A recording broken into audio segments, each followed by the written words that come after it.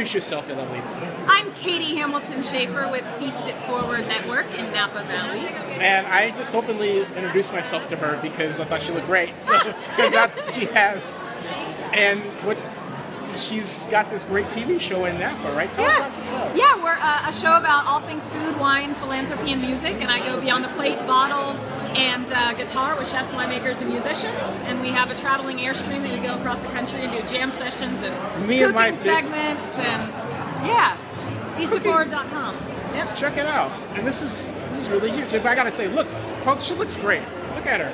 I mean, like, wow. Just, you know, I had to, I had, I had to say something. Well, cheers. Yeah, go to Yeah. It Forward and, and Zennie And follow her on Twitter. Yeah, follow us on Twitter. And watch what, what, station is this going to be on? We're, we're, we started our own network online, feastforward.com. So on Twitter- on on, YouTube?